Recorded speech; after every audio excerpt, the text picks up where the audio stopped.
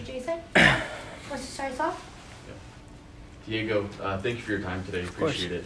Um, just, I know it might be a little painful to, to kind of look back at it, but um, can you take me back to, to after Game Three in Houston and kind of how the players and the coaching staff supported you and helped you through that moment?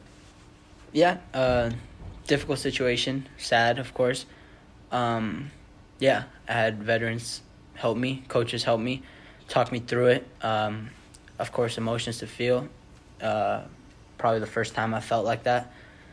Um, yeah, so they helped me through it with, with what's normal, what what not to over overthink about, to, to dwell on too much, and things happen, things come and go, and I know that. But um, yeah, sad moment, but we move on. Nothing we can do about it now, and I think it's it's on to next season. Um, despite the the ups and downs of the season, the highs and the lows, I would imagine as far as your gameplay goes, your confidence has to be at an all-time high. And Pablo's trusted you for, for quite some time now on this team to the point where you've become kind of this offensive focal point. Um, what points in your game do you think allow you to be so effective at the MLS level?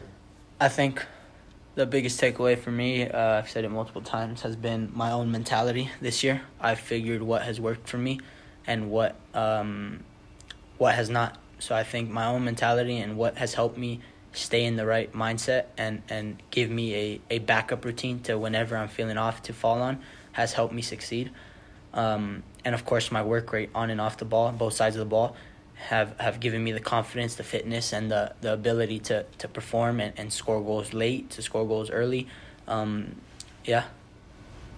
And last, lastly for me, um, what have you learned from from this season, and how excited are you to to get back at it in 2024? Yeah, I think like I just said, learning for myself was the most important thing. and I think the biggest takeaway, the the mentality that I need to perform at, at, at that level, and what has helped me. Um, and of course, everything that I've been growing on this year, um, just keeping my head down, working hard on and off the ball is going to get me success later on, or, or you know soon or later on. And I think um, with the players around me that have helped me and, and have shown, you know, the the you know support that, that I need to, to perform and, and at times what I need um, has given me the, the you know time for success and, and I think that's what's what's helping me. Great. Thanks, Diego. Of course. This season tested RSL a lot. You know, there were injuries. Yeah. There were runs of good form, then runs of up and down Mm-hmm. form. Mm-hmm the way that the season ended for you guys, like it's you know, it just seems kind of like a, a roller coaster in a lot of different ways. Yeah. Um, and when you kind of look back at the season and you look forward a little bit to next year as well, what do you think can what do you think can you guys sustain from this season and like translate it to next season? And what needs to change in order for you guys to get to the goals you want to reach, the silverware that, that this club really wants? I think we, we take away the positives of the year. I think we take away and we look back at film, we look back at the energy of the group on what worked.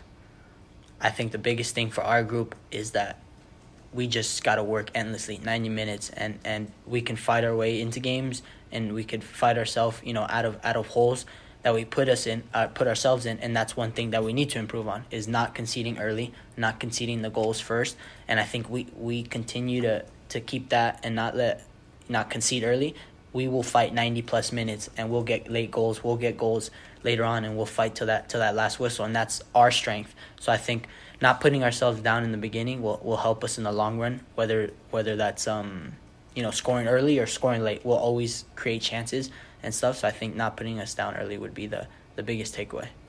And when it comes to personnel, I mean, usually at the end of a season, there's always questions like, what does the team need? Does the team need an extra this? Does the team need an extra that? Hmm. You know, in terms of depth and, and personnel, does this team have enough to get to the silverware that you guys want? And and if not, what kind of needs what what needs do you feel like the team has from a roster standpoint that can that would help out? I think we have the personnel to, to do what we want to do, and I think we were one PK away from you know all these talks being different and stuff like that. So I think Um, we have the personnel. I think it's about everybody being at their best, and that's what a championship team is. Everybody's performing every day. Uh, mentality's right in the group. Um, everybody's focused, locked in, and has one goal in mind. So I think it's it's being switched on in that in that um, in that category. But I think everybody, as a soccer player and as a person, has the ability on this team to, to be what we need and what we want to to win. You know, championships and, and win things.